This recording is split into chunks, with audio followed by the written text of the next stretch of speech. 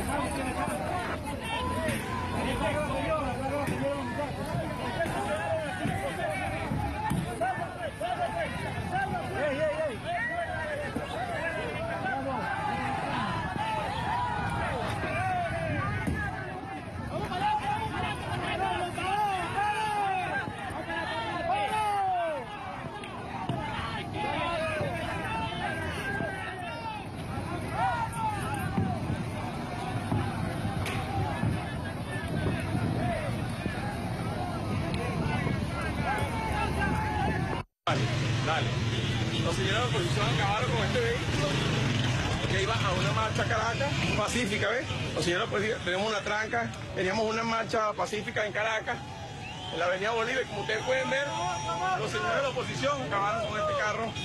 Mira como ustedes ven cómo lo dejaron por dentro. Mira cómo lo dejaron por dentro, vea. Venga, venga, esta era la, la oposición pacífica, que de todos abusos del gobierno. Somos de Falcón y mire cómo nos dejaron. ¿Dónde vienes tú, De? Falcón. ¿En este carrito venía? Claro. A un señor le partió la cabeza aquí que tuvieron que hacer un CDI. Es verdad que lo robaron. Claro, nos robaron todo. la pertenencia. Patrón, ya le voy a decir, ve, esta vega por aquí, se robaron todo lo que está aquí. En el otro carro, si quiere, va a ver todo lo que se robaron. Ah, se robaron el extintor. ¿Usted cree que eso es justo? Eso no es justo, patrón. Eso no es justo. Ah, Bueno, como ustedes pueden ver, el señor viene de Barquisimeto, Falcón, de Falcón. Falcón. Es uno de los vehículos. Tenemos- acabamos de recuperar otro por allá. Tenemos otro estacionado.